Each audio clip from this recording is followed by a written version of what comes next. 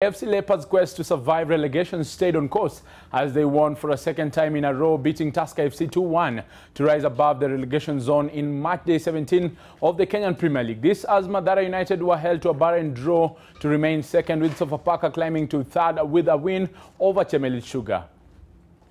FC Leopards climbed to 14th on the Kenyan Premier League standings, four points off the relegation zone with a 2-1 win over Tusker FC in a tough encounter that featured two red cards and a late drama at the Kenyatta Stadium in Machakos.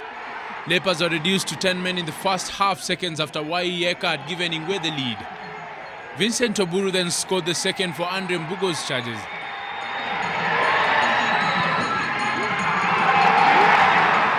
After the interval, Tusker were also reduced to 10 men before Mini Muzera came off the bench to score late consolation.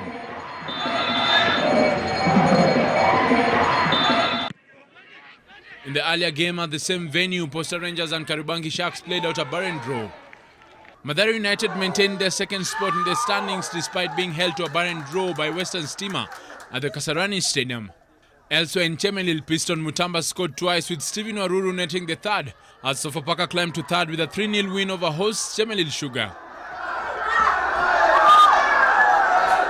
A Kotanga goal at the Wendo Green Stadium gave Sony Sugar a 1-0 win over Mount Kenya United, who have lost 11 times this season. On Sunday, leaders Bandari FC are away to Lindsay Stars.